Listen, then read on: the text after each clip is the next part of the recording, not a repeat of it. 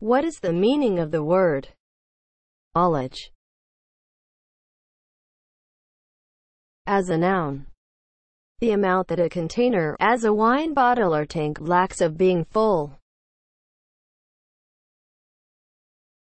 "Ullage" is spelled U L L A G E.